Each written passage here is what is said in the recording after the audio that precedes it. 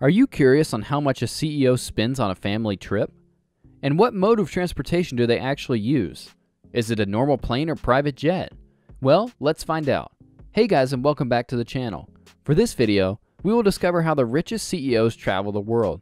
But before anything else, please leave a like on the video. Also, don't forget to subscribe to our channel and click the notification bell down below so you won't miss any of our videos. Without any further ado, let's hop right into the video. For normal people, it is more difficult than ever to see how your boss explores. It might be a use of a private jet or a staycation in a classic beach resort is necessary for their travels. Most CEOs use a jet as a mode of transportation, going to Dubai in tandem with work tours and family outings, before flying to Maldives as a matter of safety. Security is the priority of a CEO on a trip. Example is George W. Bush, who traveled to Africa with his 30 undisclosed service escorts. According to some CEOs, you are considered unimportant if you can be offline for 10 hours, since they don't stop working even if they are riding a private plane.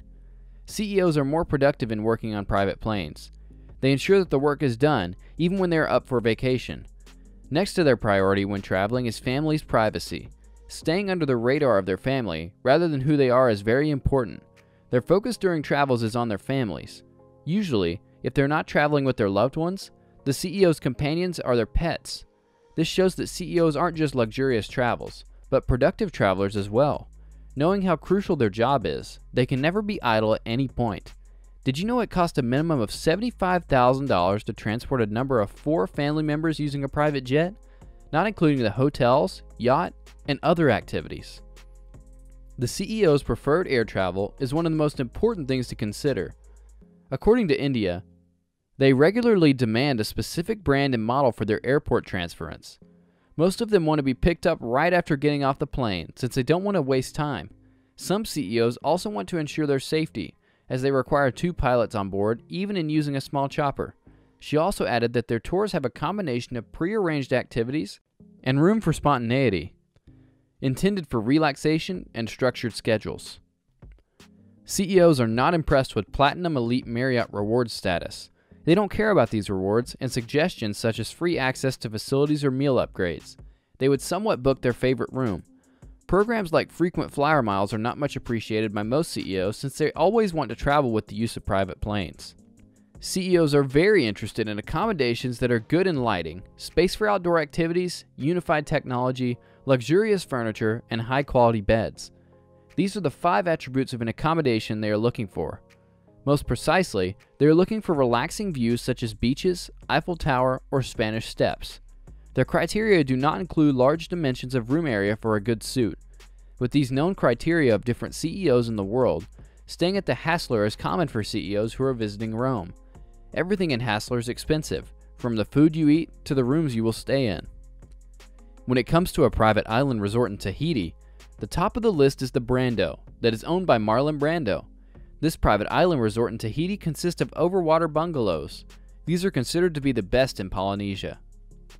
But other than these standards, CEOs also consider their dietary preferences such as allergies and restrictions as an important aspect of their itineraries. Starting from the airline routings to the crews and other people they will get contacted with. Did you know that the sons and daughters of these CEOs are very difficult to handle? Example is a 12 year old kid who gives overblown criticism on their spa experience. As a matter of fact, that is not new. As an alternative for traditional hotels, CEOs choose yachts, villas, and residences where staff to guest ratios can be controlled and minimized and also ensures confidentiality. This, for sure, gives them a sense of success. After a long day of intense deduction and years of hard work, it is safe to say that they deserve this exquisite lifestyle. Well, guys, that does it for our video explaining how the richest CEOs travel the world. We want to hear from your thoughts about this. What do you think is the best part of traveling like a CEO? Let us know in the comment section down below. That's it for today. If you guys enjoyed the video, make sure to hit that like button. Don't forget to subscribe and turn on the notification bell so you never miss out on any future content we produce for you guys. That's right, we make engaging videos like these every week, whether it's following this story or other stories like it. So be sure to subscribe so you won't miss out on any future content we produce.